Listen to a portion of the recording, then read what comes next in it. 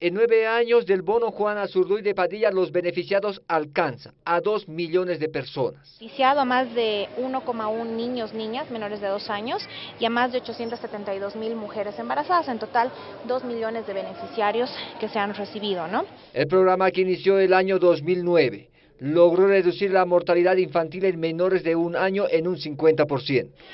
El último ENSA, que era el 2008, teníamos al país con una mortalidad infantil de menores de un año de una tasa de 50, el 2003 de 54 en los ENSAs y el ETSA 2016 hemos llegado a 24 la tasa de mortalidad infantil en menores de un año, es decir, hemos disminuido en un 50% desde la presencia del bono Juana Zurduy. Hasta la fecha en el programa del bono Juana Zurduy de Padilla, el gobierno invirtió 196 millones de bolivianos. Mucho orgullo puedo decir que tenemos médicos trabajando en varios municipios alejados del país, realizando sus controles prenatales a las embarazadas, los controles de crecimiento y desarrollo en menores de dos años.